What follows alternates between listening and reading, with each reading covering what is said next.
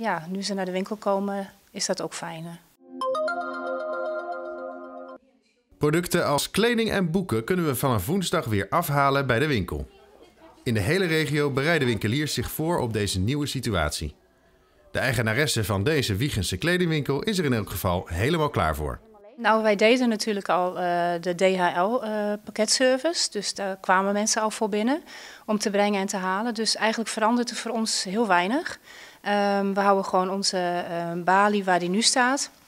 Mensen moeten daarvoor wel naar binnen komen. Je hebt toch wel dat mensen zeggen van, uh, goh, ik wil eigenlijk wel iets kopen bij jullie, maar hoe moeten we dat doen? En dan geef ik ons, uh, hun ons vaste telefoonnummer of ons mobiele nummer.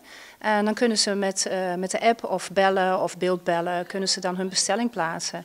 En dat we het voor in de winkel op kunnen hangen in plaats van dat we het bezorgen.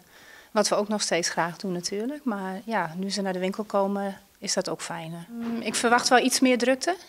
Uh, maar geen, uh, niet een hele erge drukte, want uh, mensen blijven dan toch buiten, want in principe mogen ze de winkel niet in.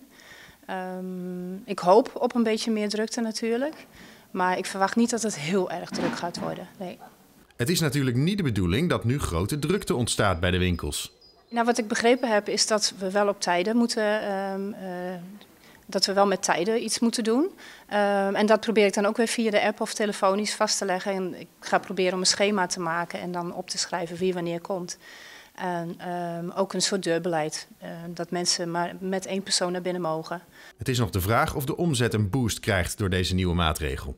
Ik verwacht wel iets meer, maar het zal niet zo zijn als wat we normaal hebben. Dat verwacht ik niet, maar ik verwacht wel iets meer, ja.